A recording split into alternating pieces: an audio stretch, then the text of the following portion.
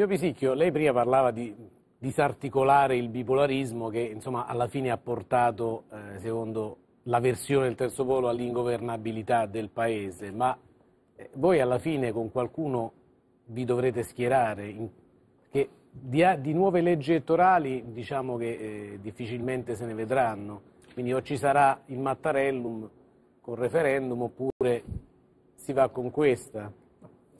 Ma eh, questa necessità dello schierarsi eh, onestamente non la vedo, a parte che eh, a me hanno molto interessato non tanto le baruffe chiozzotte che venivano eh, estrapolate dal, eh, diciamo dalla, dalle difficoltà interne dei partiti, che ancora una volta testimoniano eh, la, la chiusura del ciclo a me è molto interessato l'analisi, che peraltro condivido, dei flussi elettorali che faceva prima Crespi, che fotografa una realtà, qual è quella che ci viene consegnata da questo eh, diciassettennio.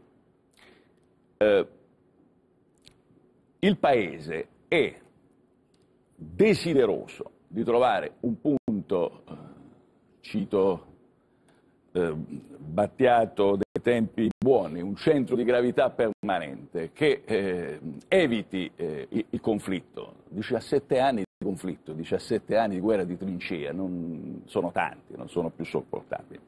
E tuttavia, e tuttavia questi contenitori così eh, consumati, così alla, eh, al di là della frutta, siamo oltre il dessert, insomma c'è una una cosa eh, che credo noi tutti dobbiamo accettare. Stiamo vivendo il fallimento della classe dirigente prodotta dal 94. È quello che sta eh, fallendo, è quello il ciclo che si sta chiudendo. Nel 92 forse? Sì. No, eletta nel 94. Ah, eletta no, è generata prodotta, dal 92. Prodotta, no, generata dal 93, dalla legge, dalla legge elettorale, eh, effetto del sì, referendum. Generata da mani pulite, dai, diciamo. Generata dalla legge elettorale. Mm, su questo poi possiamo aprire anche un dibattito più articolato. Ma eh, comunque ha mostrato tutti i suoi limiti. È quella classe dirigente che non ha la legittimazione eh, popolare, non l'ha avuta neanche nei collegi uninominali. Vediamo di capirci Concordo. una volta per tutte. Eh, all'epoca, lo dico ai, agli amici referendari mh, impegnati in questa operazione abbastanza eh, complicata della riviscenza del, del Mattarellum, eh, credo che solo eh, il regista Romero nella Notte dei Morti Viventi sia riuscito a fare una cosa analoga. Eh, I collegi venivano scelti, selezionati ed assegnati all'interno di coalizioni eh, sulla base di eh, diktat eh, di coalizione, non, non, più di partito. Per cui accadeva che un signore eh, straordinariamente charmant, un grande avvocato d'affari internazionale con cappotto di di Kashmir andasse in collegi eh, popolari eh, in, in, Campania e eh, si lamentasse che eh, il freddo era tale per cui manco a Gestad eh, eh, trovava una temperatura così e veniva eletto con il voto di rifondazione comunista, avendo una impostazione del tutto diversa. Oppure Tabacci eletto da noi con i voti della Lega. Questo è ossimorico. Allora, no, io quando quel... le firme lo ricordo. Ecco. allora, il punto, eh, il punto qual è?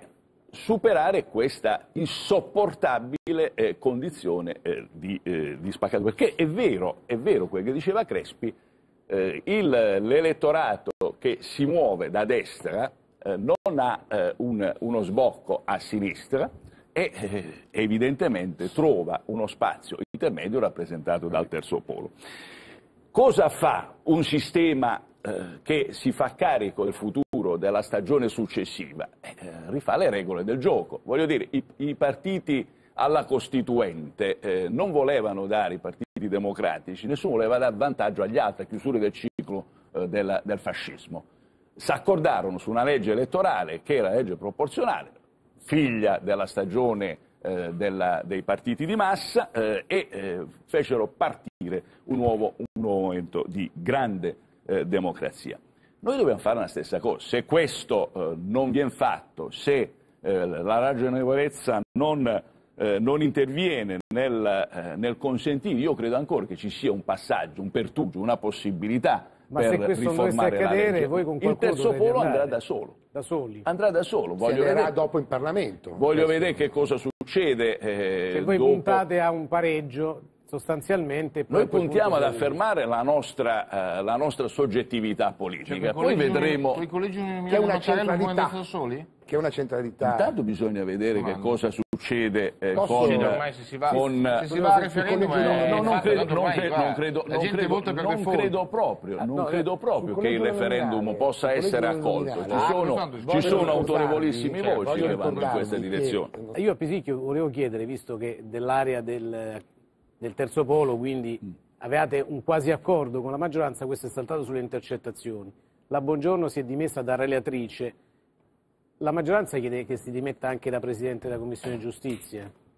Ma francamente eh, mi sembra una cosa del tutto bislacca questa richiesta delle dimissioni del Presidente della, della Commissione, non l'ha votata mica solo la maggioranza, la Commissione è un'istituzione e, e, lavora eh, con eh, un, un, percorso eh, che risponde alla dimensione istituzionale.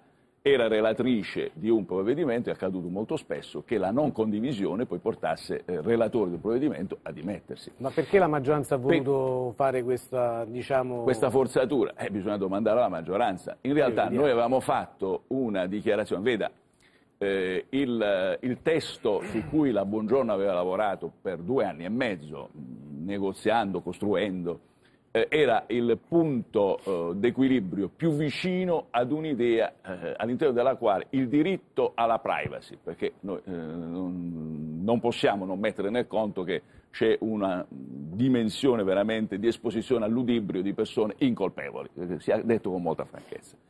Il diritto alla privacy è costituzionalmente tutelato. Il diritto eh, dei cittadini a vedere la magistratura che prosegue per eh, i, suoi, i, suoi, percorsi di indagine su reati eh, molto molto seri e il diritto all'informazione su cui si basa l'articolo 21 della Costituzione, si basa l'intera impaccatura democratica, eh, tutti e tre eh, venivano tutelati. Nel momento nel quale eh, con una, eh, un, una scelta che la maggioranza ha compiuto si è ristretto fino a vanificarlo, poi non abbiamo tempo, ma sarebbe anche il caso di spiegare che cos'è eh, questa, eh, questa restrizione. Il diritto, il diritto eh, tutelato dall'articolo 21 della Costituzione è evidente, non, non ci siamo più riconosciuti in quel testo. Perché